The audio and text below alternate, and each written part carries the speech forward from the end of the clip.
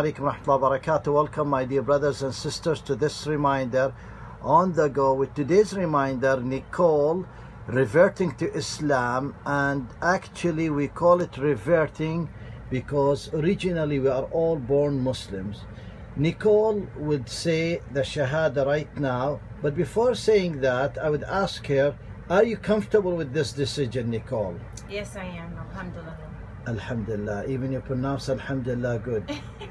right. And are you uh, happy with this decision? Very much happy. Gladly I am. Alhamdulillah. Raise your voice, please. Are you happy with this decision? I am happy with this decision. Alhamdulillah. MashaAllah. Are you well in the mind? Yes, I am.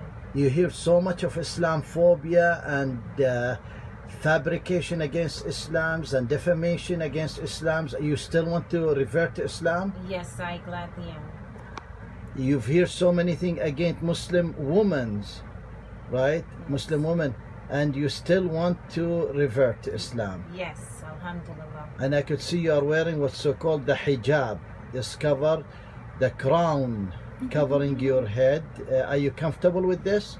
Yes, I am. Um, I cover my hair and my my head, but my brain is not covered. So Alhamdulillah. MashaAllah, MashaAllah. That's beautiful. So you're covering your brain. No, you are covering your head and the hair, but you are an open minded, you're not covering your brain. Beautiful, beautiful.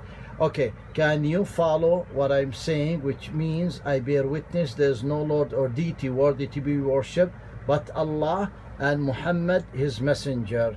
And Jesus, peace be upon him, is the messenger of Allah the creator. أشهد أشهد الله الله الله الله إله إله إلا إلا الله الله وأشهد وأشهد أن أن محمدا محمدا رسول رسول الله الله وأشهد وأشهد أن أن عيسى عيسى رسول الله رسول الله MashaAllah, congratulations. You are sin free, you are newborn. Everyone would love to be in your spot and in your place today. May Allah keep loving you, blessing you, give you stability with Islam. Jazakumullah khair for another episode on the go. Hopefully, we have another great day like this day.